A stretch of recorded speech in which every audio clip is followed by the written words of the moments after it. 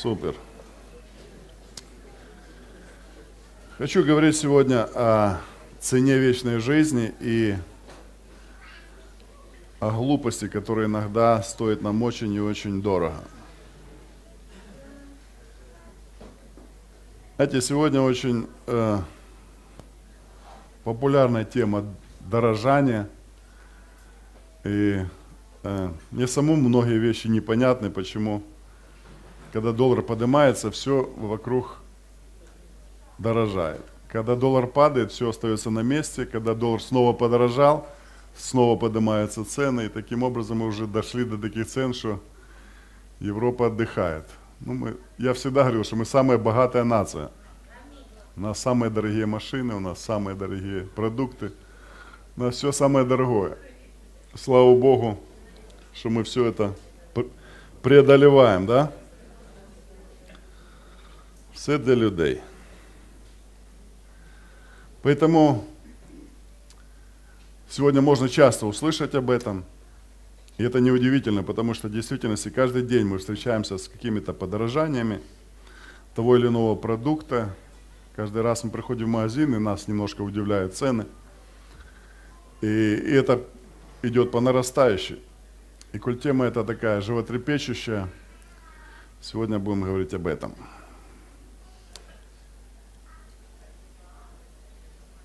Поразмышляем о том, что некоторые вещи сегодня для нас становятся не по карману.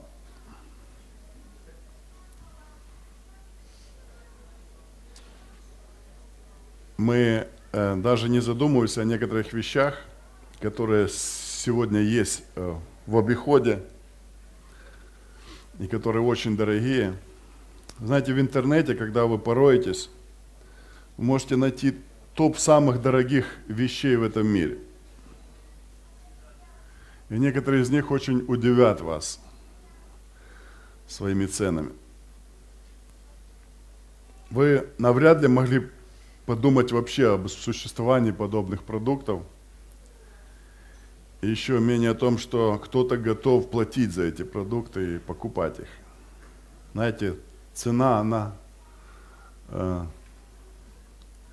равняется на потребителей. И поэтому есть, есть люди, которые настолько привыкли к, к дорогим вещам, что э, ну, купить что-то дешевое для них уже это составляет чем-то таким унизительным. Например, самые дорогие в мире пельмени, порция из восьми пельменей стоит 2000 долларов. 2400 долларов. Так вот, тарелочку взял – лупанул, отстегнул. В состав пельменей входит э, железа глубоководной рыбы факел. И поэтому они излучают такой синий, зеленый цвет. И при этом это абсолютно съедобный продукт. Некоторые вещи для нас более привычны, но их цена вызывает не менее удивления – Самый дорогой самый большой в мире алмаз стоит почти 4 миллиарда долларов. И кто-то его покупает. Самый дорогой частный дом находится в Индии, который обслуживает 600 сотрудников. Стоит почти 2 миллиарда долларов. Самая дорогая картина, Роме это более близко, триптих, три наброска к портрету Льюиса Фрейда – продан на аукционе за 142,4 миллиона долларов. Если бы увидели эту картину, вы бы поняли, что просто мазня мазней. Но тем не менее, она стоит таких вот денег. Самый дорогой автомобиль Bugatti Veyron стоит 2,6 миллиона долларов. Давайте теперь подумаем о цене, что более понятно и близко для нас. Например, сколько стоит здоровье? И чем больше мы, мы э, живем, да, чем старше мы становимся, тем больше мы задумываемся о здоровье. Когда молодые встречаются, у них одни интересы, когда встречаются люди постарше, они чаще всего разговаривают о том, что у них болит, да, наболело. У меня там то болит, то болит, лечусь тем, тем, делятся рецепта, рецептами, какими-то народными средствами. То есть темы меняются согласно возрасту. И поэтому, э, чем старше мы становимся, тем больше мы говорим об этом. Скажите, сколько стоит мир? Наша страна по-особенному нуждается в мире, да? Идет война. И порой мир между странами может стоить сотни тысяч человеческих жизней и разбитых судеб. Сколько стоит любовь? Тот, кто однажды потерял любимого человека, скажет, что без колебаний, что любовь бесценна. Сколько стоит жизнь человека? Один знаток человеческих душ сказал, Иова 2 глава 4 стихом, «Кожу за кожу, а жизнь свою отдаст человек, за жизнь свою отдаст человек все, что есть у него». Сколько же тогда может стоить вечная жизнь. Мы не задумываемся над этим. Знаете, мы принимаем это как само собой разумеющееся. Мы же пришли к Богу, покаялись. Бог дал нам жизнь вечную. Бог дал нам надежду, упование. Бог дал нам свой божественный мир и порядок. Насколько мы ценим все то, что Бог дает в нашу жизнь. Насколько мы открыты это ценить насколько это на самом деле дорого для нас. Думаем ли мы вообще об этом? Размышляем ли мы об этом? Понимаем ли мы, что Бог дал в нашу жизнь? Так важно, чтобы особенно христиане задумывались над этими вещами. Вы знаете, когда начинаешь думать об этом, размышлять об этом, совершенно другие ценности появляются в твоей жизни совершенно другое становится для тебя более ценным, нежели это было вчера, позавчера или, или третьего дня. Поэтому эм, важно, важно практиковать в своей жизни, э, размышлять над тем, что ты на самом де- деле имеешь в Господе, в Иисусе Христе. И как легко иногда это потерять, как легко и иногда, э, знаете, сделать какие-то глупые вещи, глупые ошибки – и, и просто ну, ну, потерять какие-то определенные вещи, которые есть в твоей жизни, благодаря тому, что Иисус умер, пострадал, пришел в твою жизнь, заплатил цену, чтобы, несмотря на то, что ты являешься виновником, ты вдруг стал невинным. И вы знаете, эти вещи, эти вещи очень важно, важно брать э, как урок в свою жизнь. Некоторые люди не верят в вечную жизнь в силу того, что, как им кажется, она ничего не стоит. Но мы привыкли за все платить. И в этом случае все по вере, то есть бесплатно, без усилий просто. А все, что бесплатно, почему-то не ценится. Знаете, сегодня даже какие-то семинары там э, вроде как можно было бы дать и бесплатно, но говорят, если человек не заплатит цену, для него это не будет важно. И поэтому ставят какую-то определенную цену, может быть, символическую цену, но чтобы в любом случае человек заплатил что-то, чтобы это стало для него ценным, важным и чтобы это было действительно благословением для него. Однако у вечной жизни есть своя цена. И мы знаем, что она достаточно высока. В прошлый раз мы принимали причастие, мы размышляли об этом, мы рассуждали о том, что Бог сделал в нашей жизни, что Он сделал для нас. И это в действительности благословение. Матфея 13 глава, 44 по 46 стихи написано так.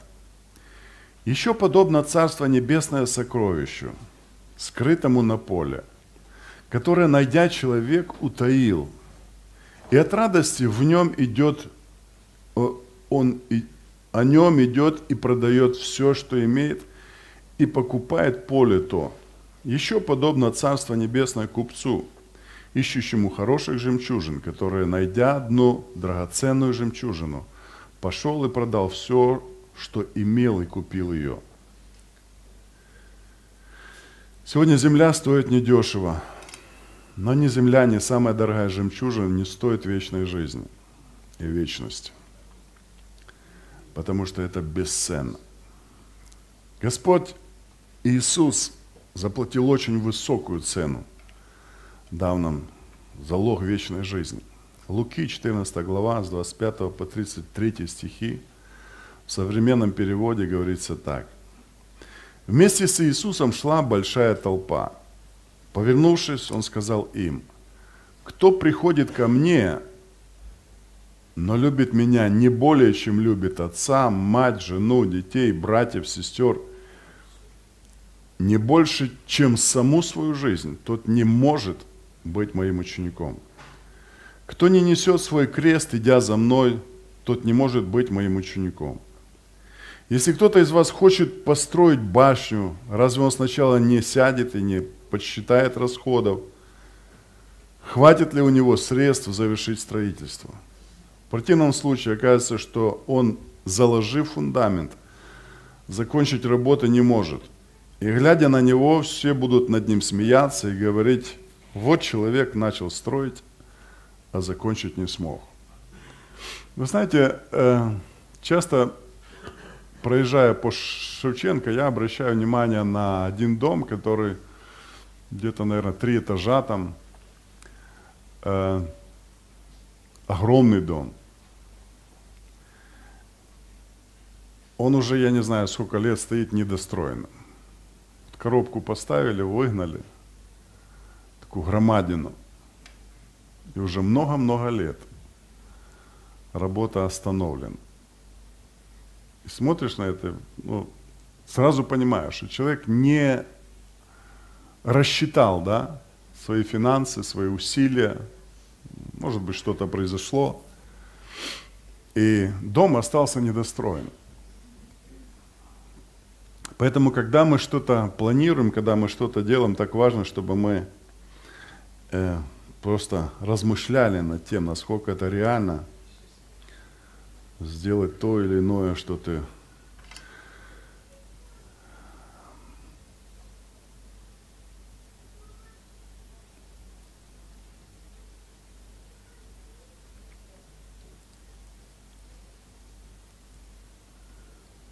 самую большую цену, как все человечество, так и отдельные люди во все времена платили за глупость. Хотел бы об этом поговорить. На самом деле глупость нам не по карману. Из-за глупости люди могут потерять дом, машину, ценные бумаги и все состояние. Но самое страшное, из-за глупости люди теряют мир – теряют любовь, порой здоровье, а иногда и жизнь, и даже жизнь вечную. Библия неоднократно приводит нам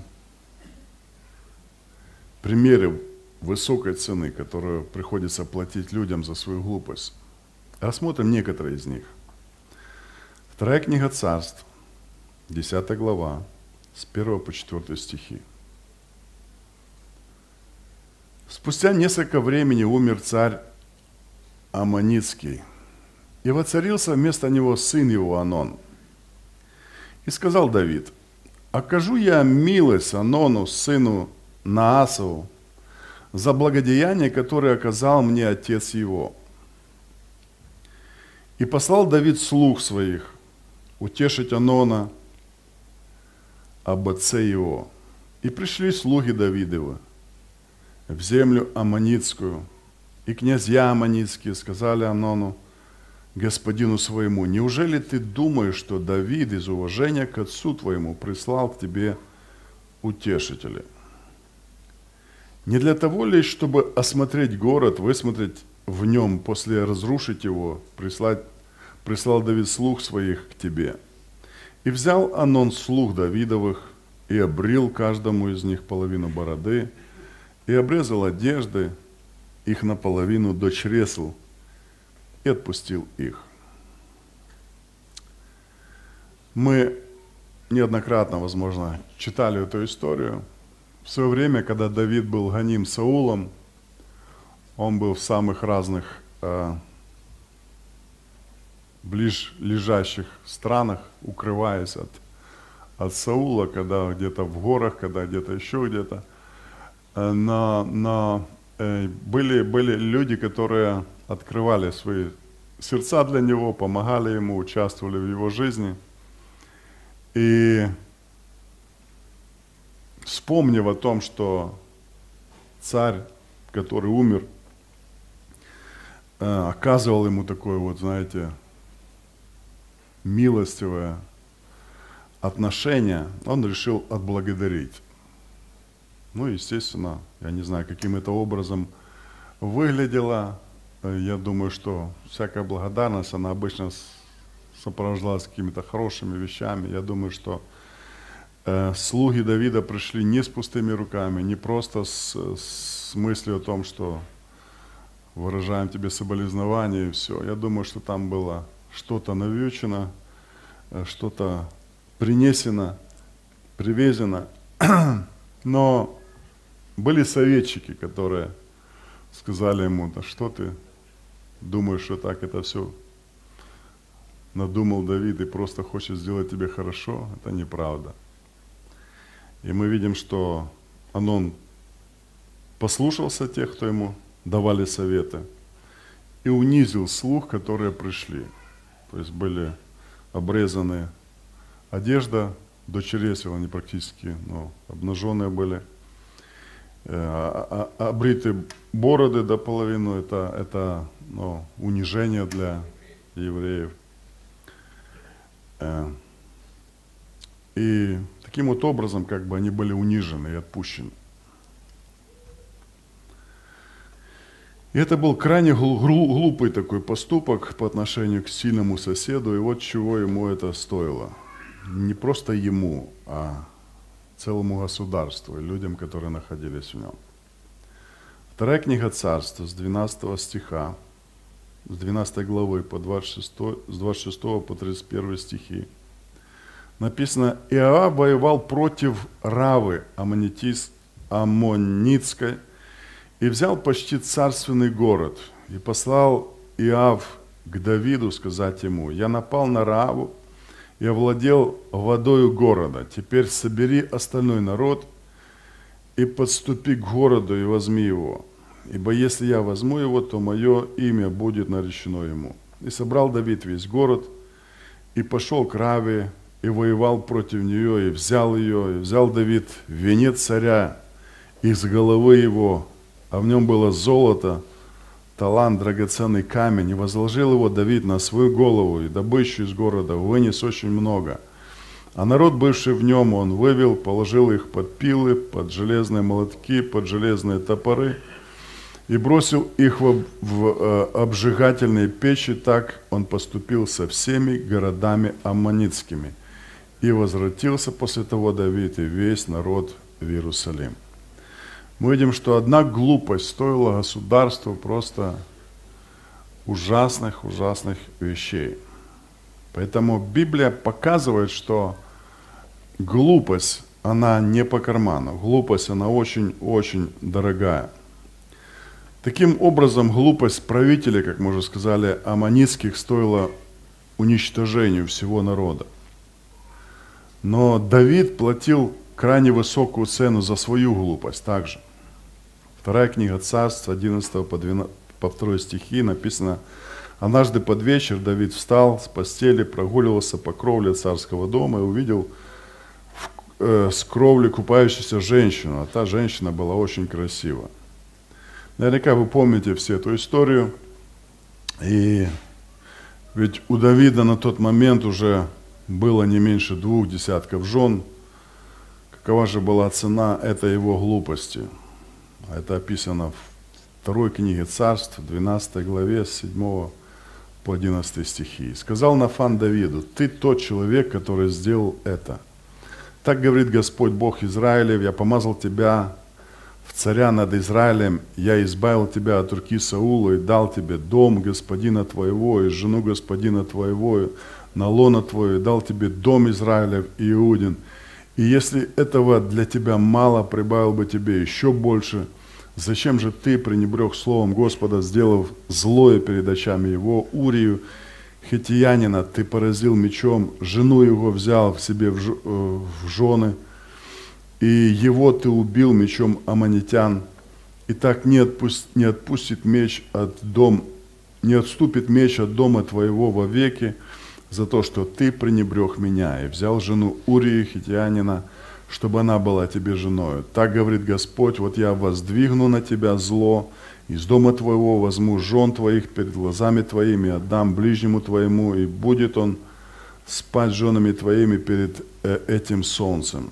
И 14 стих, но как ты этим делом подал повод врагам Господа хулить его, то умрет родившийся у тебя сын. Мы видим, что очень дорогая цена пришлась на жизнь Давида. Мы помним его страдания по поводу смерти сына. Мы, мы помним, как он э, все-таки смирился перед Богом, покаялся.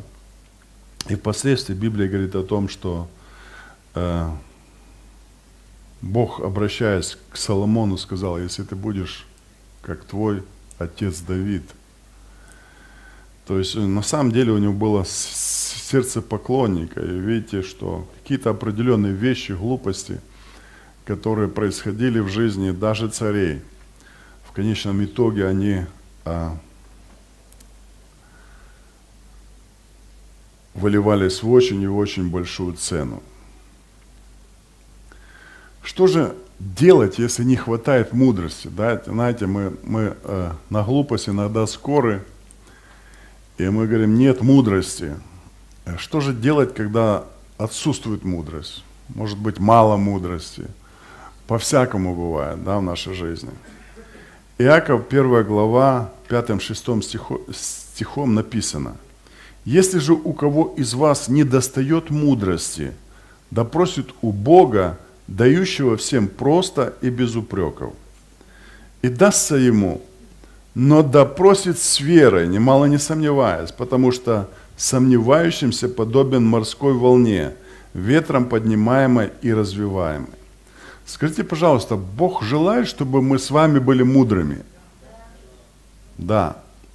И написано, если кто-то не, у кого-то не достает мудрости, тяжело иногда признать это, да, там, неужели я глупый, там, неужели у меня мудрости не хватает, я же есть такой мудрый но иногда стоит, стоит признать, что недостаток мудрости.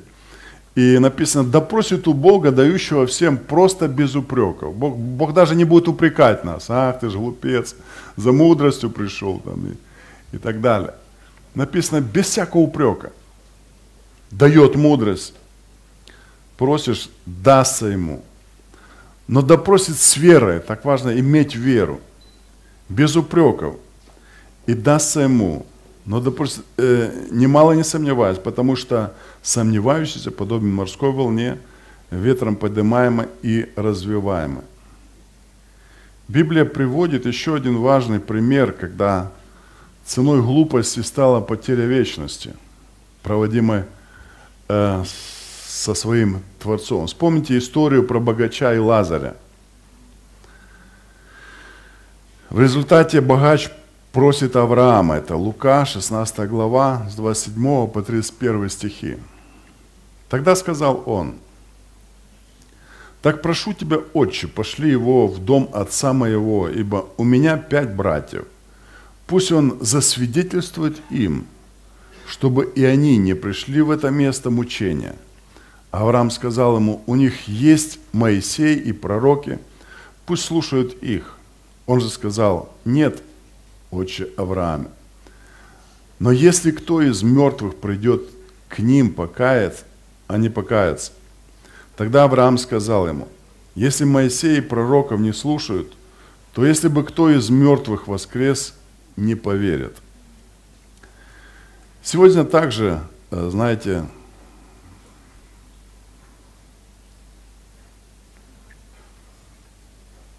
к нам говорится – через проповеди, к нам говорится через пророчество, к нам говорится через самые разные источники Бог использует сегодня, чтобы достучаться до каждого из нас. И так важно, чтобы мы были открыты к послушанию, чтобы мы были открыты к тому, чтобы слышать голос Божий. Сегодня суета этого мира, она все больше и больше захлестывает. Она все больше и больше увлекает людей, увлекает от Господа, увлекает от, от служения, от, от, от, э, от всякого такого, знаете, тесного общения с Богом. Эм, сегодня мир, мир предлагает масса разных вещей, масса разных развлечений. И так важно, чтобы христиане, они все-таки держались за Бога. Э, мы живем такое время, знаете, время очень интересное, время опасное, и без близости с Богом, поверьте, будет очень-очень сложно, сложно жить, особенно верующим людям. И, и э, всегда будет искушение отойти от Бога, всегда будет искушение, знаете, поменять на более безопасную жизнь. И так важно, чтобы верующие люди, они были достаточно зрелыми, чтобы не повестись на эти вещи, чтобы не согласиться с тем, что предлагает дьявол или что он навязывает в нашу жизнь. Но чтобы быть горячими, знаете, такими твердыми в Боге, укорененными Богом, э, это важно. Это важно, потому что времена, которые впереди, которые грядут рано или поздно, э, они будут требовать зрелости от каждого человека. И они, будут проверены, знаете, временем, насколько мы зрелые, насколько мы утверждены в Боге, насколько мы закалены Богом и утверждены в Его истине.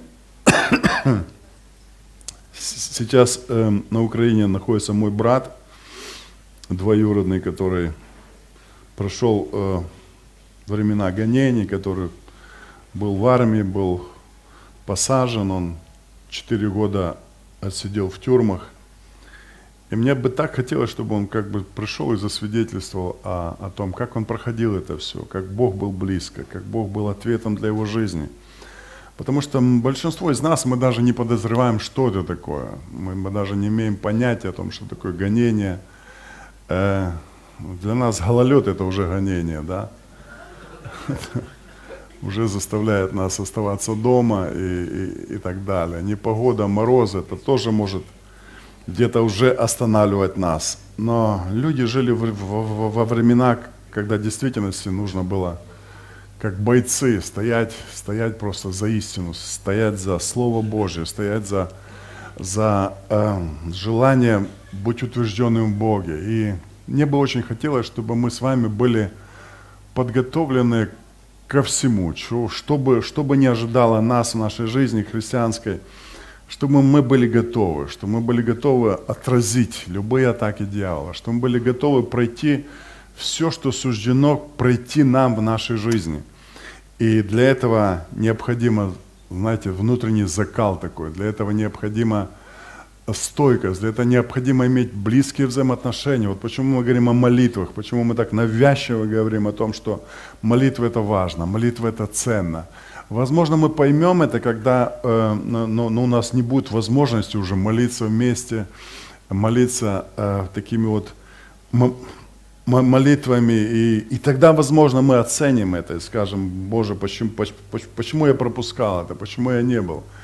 Сегодня Бог дает нам эту возможность. Сегодня дает нам эти, эти э, благословенные часы, когда мы можем вместе, собравшись, молиться, молиться в духе, молиться горячей молитвой, молиться, знаете, заряжаясь от Бога, от, от, от источника Его престола. Я верю, что э, молитвы, они укрепляют жизнь человека. Молитвенная жизнь, она э, делает его зрелым. Молитвенная жизнь, она э, делает его стойким и рассудительным, и мудрым. И вот эта глупость, которая иногда сопровождает жизнь людей, она, она знаете, блокируется мудростью, которая приходит от Бога. И всякий раз, когда ты имеешь тесные взаимоотношения с Богом, Бог непременно дает тебе мудрость. Знаете, Слово Божье, когда мы используем это Слово Божье, и, э, читая, наполняя э, свое сердце этим словом, оно тоже дает нам мудрость, потому что в слове мудрость. Э, Божья истина, Божья, э, она, она также является, знаете, таким колодезом э, мудрости, который можем черпать оттуда постоянно иметь от этого благословения. Поэтому давайте задумаемся над тем, а что было сказано сегодня. Давайте задумаемся над теми вещами, которые, о которых мы говорили, чтобы на самом деле э, в нашей христианской жизни было как можно меньше глупых вещей, которые мы э, можем позволять себе делать в этой жизни. Чтобы, э, чтобы мы также были достаточно мудрыми, чтобы эм, быть образцом для подражания нашим детям. Наши дети внимательно смотрят за нами. И, и, и, и мы это знаем прекрасно. Дети копируют нас. И так важно, чтобы, чтобы в нашей христианской жизни мы были хорошим примером для подражания, чтобы э, детям было что фотографировать, да, э, было что снимать э, для, для собственной жизни. И, и это важно.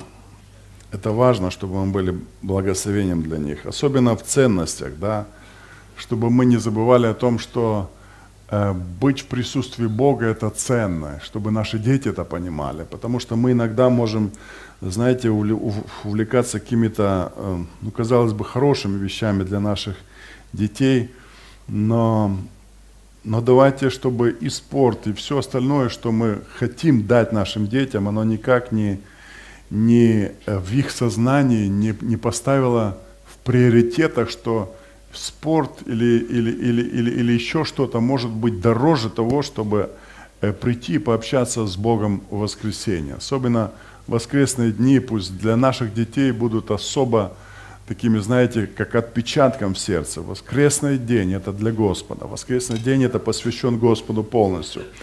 Чтобы мы э, также показывали детям не просто э, прийти в служение после служения мы забываем о Господе, чтобы на протяжении воскресного дня мы учили детей, как важно э, ну, сосредотачиваться на Боге, сосредотачиваться на, на истине Божьей, в действительности посвящать день Господу. И в этом тоже мы можем быть, знаете, такими учителями, может быть, даже молчаливыми уч- учителями, но дети наблюдают за нами и копируют нас. И, и, и во всем этом мы можем быть для них примером хорошим примером для подражания. Вы знаете, я часто вспоминаю э, бабушку, а она действительно была живым примером. Живым примером. И сколько я ее помню, я помню либо наставляющий нас, внуков, либо человеком, который читает Слово Божье. Какое-то время, где-то, может быть, я не знаю, может быть, года два, бабушка находилась в таком э, лежачем положении. Э, она уже не могла двигаться, не могла передвигаться по дому. И э, две маминых сестры э, и мама в свободное время, они уделяли внимание э, бабушке, заботились о ней. Это была действительности забота. Я не помню, чтобы э, бабушка э, звала кого-то, чтобы дать ей пить или кушать или еще что-то. То есть это все было вовремя. она была как царица, она лежала, э, э сидела, допустим, на, на кровати, вокруг были подушки, перины. И я помню ее Библию, которая лежала перед ней – и она читала эту Библию. знаете, это, это ну, ну, отпечатывается, отпечатывается в сознании, в памяти. И, и ты понимаешь, что насколько это важно было для нее. И когда ты смотришь ее жизнь, когда ты смотришь на результат ее жизни, на, на сегодняшний день, глядя на внуков, правнуков, э, на ее детей, и ты видишь, что в действительности э, это хорошая, как бы, как этот, рассадник, да, то есть она, она э, положила начало множеству служителей Божьих, она положила начало э, действительности, э, ну, людям, которые держатся за Бога сегодня. Я практически очень мало слышу таких вещей, чтобы кто-то из нашего родства отошел от Бога. Есть единицы, которые можно перечесть на пальцах, но, но видно было, что вот эти вот молитвы, вот это вот хождение перед Богом, оно дало свой плод в детях, в внуках, в правнуках. И сегодня это огромное родство, огромное родство, которое в действительности э, наполнено Божьей жизнью и любовью к Богу.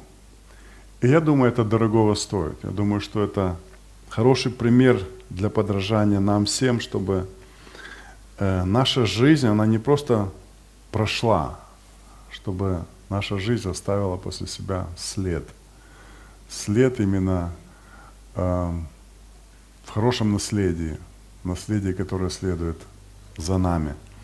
Чтобы это наследие, оно дышало Богом, не мирской жизнью, не мирскими привычками, не мирскими ценностями, а жила жизнью Бога, жизнью в Боге, наслаждаясь Ним. Поэтому желаю вам, чтобы в вашей жизни было как можно меньше глупостей и как можно больше мудрости. Как ее получить, мы уже получили рецепт, мы уже знаем, что мудрость приходит от Бога, Он дает всем, кто ее просит, дает без упрека, дает в любом количестве.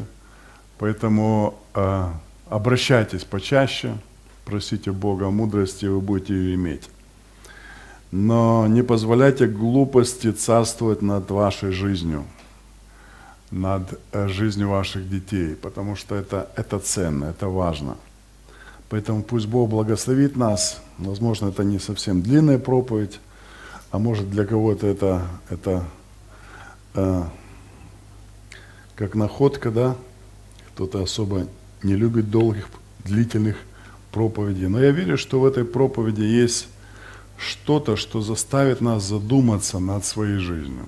Что-то, что заставит сделать определенный анализ своей жизни, то, как я живу, насколько ценна жизнь моя для Господа, насколько ценна она для людей, которые меня окружают. Потому что э, Библия говорит, что вы есть соль для этого мира, вы есть свет для этого мира. Вы знаете, можно по-разному светить. Можно где-то подсвечивать, да, можно где-то так засветить, что люди скажут, что это за христианство вообще в целом. А можно в действительности быть благословением для окружающих. Чем больше я живу, тем больше я понимаю, что люди наблюдают за нами, как за христианами. Как только мы озвучиваем э, свою позицию, как только мы озвучиваем э, свое положение перед Богом, это всегда вызывает реакцию людей. И вначале это, это может быть какое-то возмущение, непонятность, э, когда люди говорят, что все, кто попал еще куда-то. Но впоследствии, когда люди наблюдают за нами, и наша жизнь, она приобретает перемены в лучшую сторону – тогда это восхищает людей. Где-то где внутри себя они понимают, что они хотели бы иметь это, но не имеют. И потом они начинают искать, искать Бога.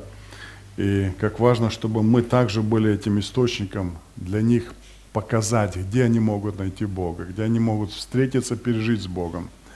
Потому что это то, чего ожидает Бог от нашей жизни.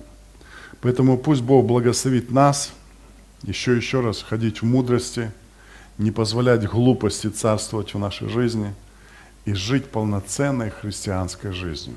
Жизнью во Христе, жизнью молитвенной жизни, жизнью в Слове Божьем, в истине Божьей и в хороших делах, в добрых делах э, для окружающих нас людей. Мы неоднократно говорили проповеди о доброте, мы говорили о том, что Э, люди узнают нас по добрым сердцам, по добрым намерениям и добрым поступкам. Поэтому это еще одна визитная карточка христианина. И так важно, чтобы люди, говоря о нас, как о верующих людям, особенно замечали, что мы особо добрые люди, да? Чтобы когда спрашивают, э, что, что особенно вот в христианах, что, что особенно в верующих людях, чтобы люди не говорили просто, да, а ну, не пьет, не курит, матом не ругается, как бы и все. А чтобы основная, основная визитная карточка была христиан, кто такие христиане? Это особо добрые люди. Мне хочется, чтобы наша церковь росла в этом, чтобы наша церковь развивалась в этом, чтобы доброта, она на самом деле была визитной карточкой каждого человека, чтобы, чтобы э, если мы спрашивают, и, и люди спрашивают, верующие, в какую церковь ходишь, благую весть, о, я знаю, я слышал, это очень добрая церковь. Сама, само название «благая весть» – это добрая весть. Это люди, которые несут добро, это люди, которые несут добрую весть. Поэтому давайте мы выделять время для а, каких-то добрых вещей, добрых поступков отношении людей, которые находятся рядом с нами. Может быть, это соседи наши, может быть, это наши знакомые, может быть, это сотрудники по работе. Просто возьми себе, как знаете, как за эм, такое постоянство в том, чтобы хотя бы раз в неделю для своих сотрудников сделать что-то доброе, такое яркое, знаете, чтобы это коснулось их жизни. Эм, может быть, испечь каких-то фунделок, я не знаю, э, каких-то вещей таких вот, и угостить их, чтобы они знали, что каждая, каждую неделю вы делаете что-то такое в, в постоянстве, и это можно от вас ожидать. Может быть, просто, знаете, Зоя, как-то мы встречались с Зоей и, и Лешей, и она говорит, может быть, я, говорит, э, но не особо имею время для проповеди, но, говорит, я постоянно молюсь за сотрудников своих. И пишу им, говорит, такие листовочки, то, что у меня в сердце о них. Какие-то добрые, добрые вещи. Вы знаете, люди так нуждаются в, в доброте.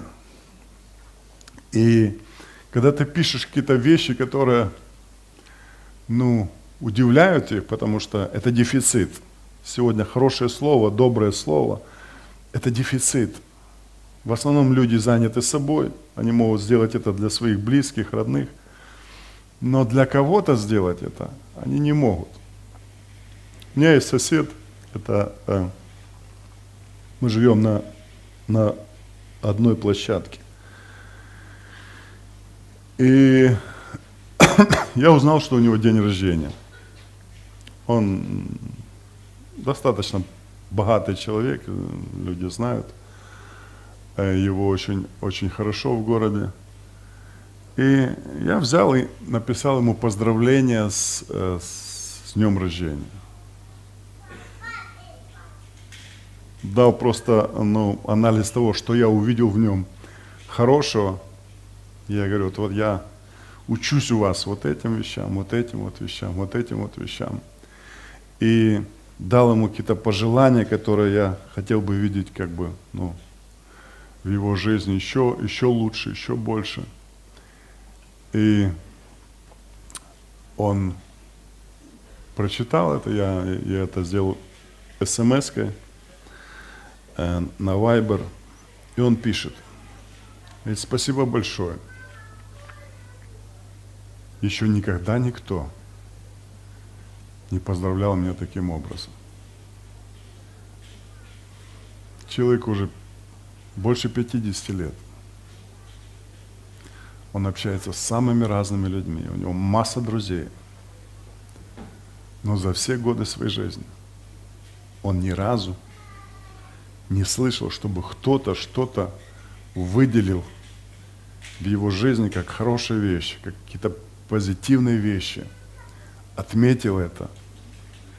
И, и, и вы знаете, вот такие вот элементарные вещи, которые мы можем сделать это, ну, как дважды два, четыре. Это не тяжело. Это займет 5-10 минут. Подумать, вспомнить, а в каждом человеке есть хорошие вещи, которые люди не замечают. Но когда ты сосредотачиваешься на этом, начинаешь размышлять об этом, думать над этим, Бог дает это, знаете, как послание такое. И ты пишешь. Ты высвобождаешь это в жизнь человека. Это не может не коснуться человека. Это непременно коснется. И вот, вот, вот вам и есть добрые вещи, которые мы можем делать для людей, которые находятся рядом с нами. Это как бы пример таких э, небольших вещей. А если это еще что-то, что ты делаешь, может быть, продукты купил, да, покупаешь себе продукты, подумал о каком-то соседе там, который не очень может позволить тебе что-то. Взял что-то такое, что он не может себе позволить. И пришел, благословил. Это тоже оставит отпечаток доброты. Это опять же таки оставит, знаете, э, мнение о тебе не как о каком-то сектанте, а как о человеке, который несет добро и хочет это делать постоянно. Поэтому я ревную о том, чтобы наша церковь особенным образом, э, знаете, процветала в этом, э, росла в этом. Это, это, это рост, это духовный рост, это, это зрелый рост. В этом есть зрелость. И поэтому я верю, что вы достаточно зрелые уже, но я верю, что э, предела зрелости нет – ее можно постоянно развивать, постоянно употреблять э, и использовать. Поэтому пусть Бог благословит тебя быть человеком не тем, кто только научен или, или, или э, наставлен только принимать, а чтобы человек, который может с легкостью отдавать, с легкостью быть даятелем в жизнь людей, которые находятся рядом с нами. И в этом есть христианство. И кто-то сказал на это Аминь. Давайте мы встанем. Отец Небесный, мы благодарим Тебя за Твою любовь. Мы благодарим Тебя за Твое Слово, за истину, которая меняет наши сердца, наши жизни, которая приходит в нашу жизнь, чтобы что-то изменить. Отец, мы благодарим за наставления, которые приходят в нашу жизнь. Дай нам применять это в жизнь. Дай нам эм, эм, запечатлеть это в своем сердце, дай нам запоминать эти вещи, дай нам э, отождествляться с этими вещами, чтобы Твое Слово, оно росло в нашей жизни, в наших поступках, в наших отношениях друг к другу, к людям, которые находятся рядом с нами, Господь. Дай нам быть особенным народом, взятым в удел, чтобы мы то, что мы унаследовали от Тебя, могли развивать это и использовать, употребляя в нашей э, нашем быту, в нашей жизни, Господь, чтобы, чтобы то, что мы имеем внутри себя, оно выходило наружу, было благословением для окружающих нас людей. Господь, дай нам быть людьми, которые думают не только о себе, думают о других. Отец, дай нам быть людьми, которые искусны в том, чтобы быть благословением для других. Может быть, в письме, может быть, в, в коротком слове, чтобы мы могли обратиться к человеку, это коснулось, и затронуло человека, и чтобы это помогло ему встретиться с Богом. Боже, благослови, благослови нас в этом, чтобы мы были достаточно мудрыми, искусными в подобных вещах, чтобы это захватывало человеческие души и было бальзамом для тех, кто нуждается в Твоем исцелении. Господь, дай нам быть носителями Твоего исцеления, дай нам быть носителями Твоей любви, которая бы э, касалась жизни людей и была благословением для них. Боже, благослови, благослови, дай нам возрастать в Твоей мудрости, дай нам просить о Твоей мудрости. Мы сегодня просим, Боже, дай нам мудрости, дай нам мудрости, Господь. Пусть эта мудрость накапливается в нашем сердце, пусть эта мудрость, она говорит через нас, пусть она действует через нас. Господь, мы не желаем ходить в глупости, мы не желаем быть подвергнуты атакам глупости, мы не желаем согласаться с глупостью, Господь, но дай нам быть мудрыми и благоразумными во все дни нашей жизни, чтобы это привело нас к наследию, к тому, что Ты приготовил для нашей жизни, чтобы мы никогда не потеряли, Господь, то, что имеем в Тебе, то, что Ты сделал для нас. Это вечная жизнь, это, это жизнь с тобой, живым, реальным и действующим Богом. Дай нам больше сосредотачиваться на вечности, в нашем внимании, в наших ценностях, нежели на то, что мы имеем сегодня. Господь, благослови нас, чтобы в этих ценностях мы не потеряли правильные отношения э, и, и правильные ценности, Господь, чтобы Твои ценности всегда были основными в нашей жизни и захватывали всю нашу жизнь. Прославься, Господь, в жизни каждого из нас. Благослови каждого из нас. А мы за все благодарны Тебе, наш Бог и Царь, Отец, Сын и Дух Святой. Аминь. Я хотел бы